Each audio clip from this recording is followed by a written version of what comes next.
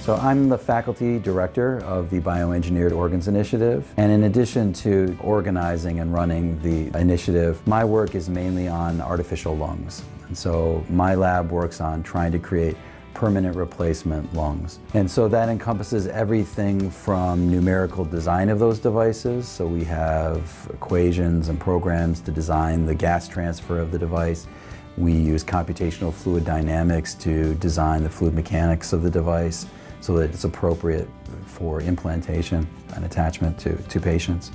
Um, and then we work on biomaterials quite a bit because the biggest thing that keeps us from having permanent replacement lungs is that they clot so quickly. So we work on a number of different technologies for limiting coagulation in artificial lungs. So some of those are biomaterials approaches, surface coatings that stop coagulation.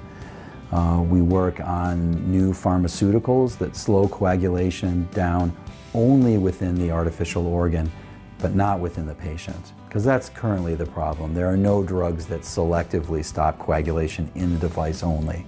So if you want to slow coagulation down, you have to deal, unfortunately, with bleeding complications from the patient.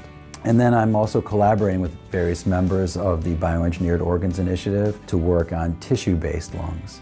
So I really think of those technologies as the artificial lungs being the, the permanent replacement organ for five years from now, whereas the tissue-based lung is the, the replacement lung, permanent replacement lung for 10 to 15 years from now.